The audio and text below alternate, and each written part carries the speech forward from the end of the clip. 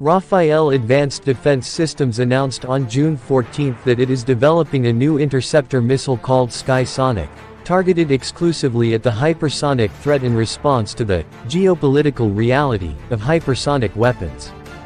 The corporation called the missile a groundbreaking defensive response to the growing threat of hypersonic missiles.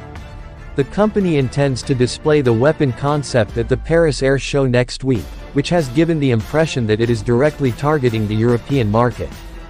Although it is a unique system, Rafael claims it is designed with an open architecture to provide the greatest amount of adaptability, just like its previous air defense systems and missile interceptors. The proposal was submitted to the US by Rafael, and according to the firm, there has been excellent reception. Rafael has identified a marked increase in arousing interest in the international arena with proven operational capabilities and a geopolitical reality that has created many opportunities. We are following the developments and emerging threats in the current security context and are developing the most advanced defense systems, said Dr. Yuval Steinitz, chairman of Rafael Advanced Defense Systems Limited. Steinitz told Reuters at a media event, the Skysonic interceptor will enable us to intercept all kinds of hypersonic threats, hypersonic ballistic missiles, hypersonic cruise missiles.